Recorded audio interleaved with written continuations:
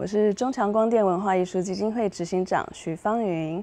感光计划用光点亮台湾文化，用光改善台湾环境，因为有光，让大家看到台湾生活的美好。因为光让恒春变得如此美丽，让大家认识台南风神庙接官亭的故事。